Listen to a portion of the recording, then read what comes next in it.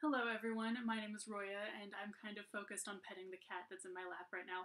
Um, this is like the fourth video, or the, yeah, the fifth video that I filmed in the same clothes and everything, one after another, with the same cat in my lap, and I don't know why she always wants to sit in my lap while I'm filming, even though she hates being on camera, so that's kind of crazy. Anyway, this video is another monthly recommendations video. Um, so monthly recommendations was created by Trina from Between Chapters and Kayla from Kayla Rain, and this month's theme is historical fiction, which is of course one of my favorite things to read.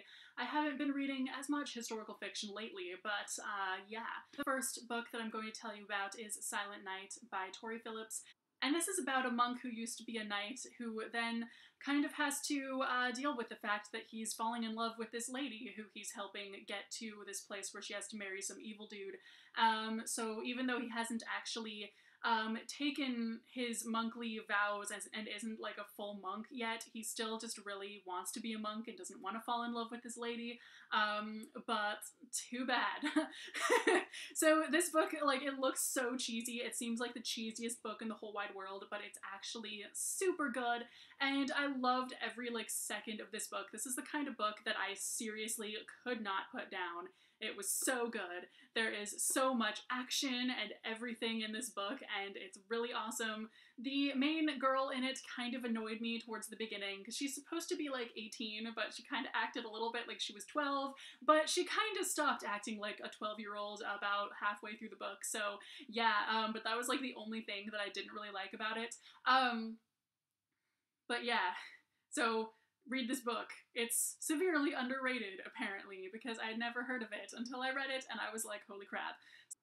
The next book is The Help by Kathryn Stockett, and I this was seriously one of my absolute favorites. It made it onto my favorites list of last year. So this is about a girl who wants to write a book about the different stories that um, the black maids in her community have about the white people that they work for. Um, and it is also about two of the maids who help her do this. So this is a really amazing book.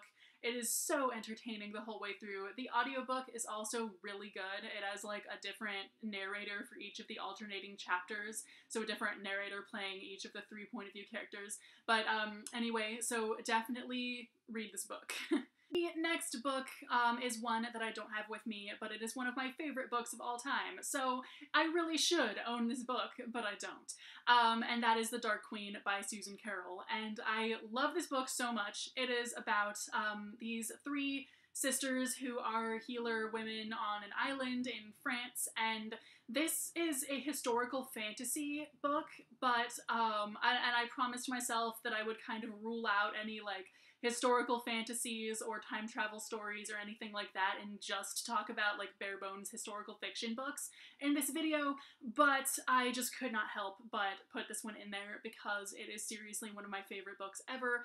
Um, and interestingly enough, it is written by an author who normally writes romance, but this is so not even close to a romance book at all. And lastly, what I'm going to recommend to you next is not a book, but an author, and that is Philippa Gregory. Um, I have seriously read like 10 of her books or something, I don't know. Um, so mostly she has written stuff set during the Tudor era, but she has also written things about like, you know, more recent history. So, um, I don't know. So a good place to start with her books is The Other Boleyn Girl, which is about um, Anne Boleyn's sister, Mary, who actually um, was King Henry VIII's mistress before he married Anne Boleyn because he kind of just got tired of her and married her sister instead, which is kind of crappy, um, obviously. so anyway, um, that is a really good book. Um, one of my favorites of hers, however, is the Wideacre trilogy, um, but uh, and that is about a girl named Beatrice who um, basically her family owns this wide expanse of land called Wideacre, and her brother is going to get it one day instead of her because he's a boy, even though he doesn't like know the land and isn't a part of it as much as she is, because he just sits around like reading books um, in the living room while she is out actually helping with the harvesting and doing all this stuff. So It frustrates her to no end that she is not going to inherit this land because she's a girl. Um, so I warn you though that as amazing as I think this book is, it is so not for everybody, and because there are some things in it that are kind of fucked up. I'm sorry.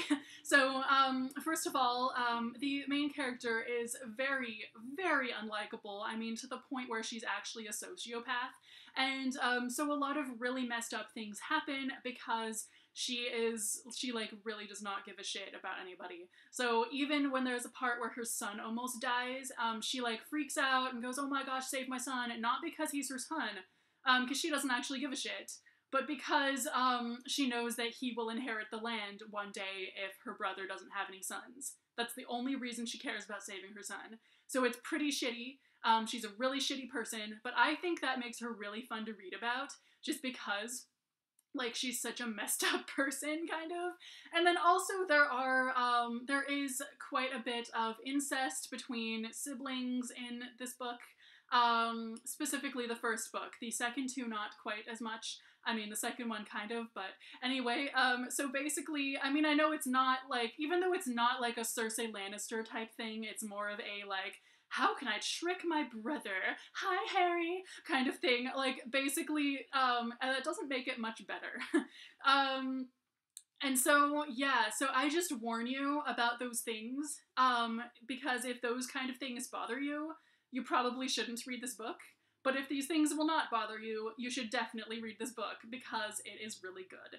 Um, the second book focuses on Beatrice's daughter, and the third book, which I think is actually kind of the best one, focuses on her daughter's daughter, who has uh, kind of um, not known who she is her entire life because she's like orphaned and yeah, so she doesn't know um, about the land. Even so, if incest really bothers you and all that other stuff that I talked about really bothers you, um, just read the third book instead. Skip the first two because you don't need any of the information from those ones to read the third one.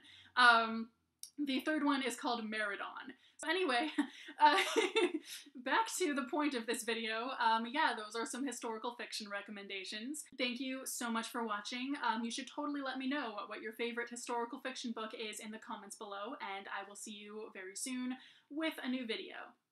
Bye!